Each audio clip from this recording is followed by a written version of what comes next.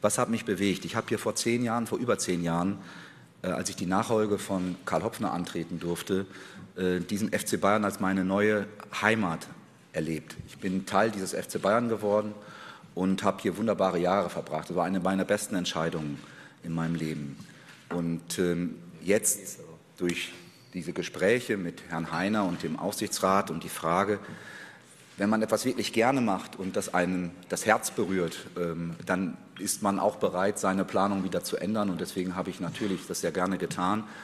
Ähm, wenn der FC Bayern ruft, dann sollte man sich überlegen, ob man dem nachkommt. Und ich bin dem sehr gerne nachgekommen und möchte deswegen an dieser Stelle auch noch mal ausdrücklich sowohl Herbert Heiner als Aufsichtsratsvorsitzenden und dem gesamten Aufsichtsrat danken für diese Chance, für diese Aufgabe, die sicherlich die nächsten Wochen nicht leicht werden wird, aber das macht es umso reizvoller.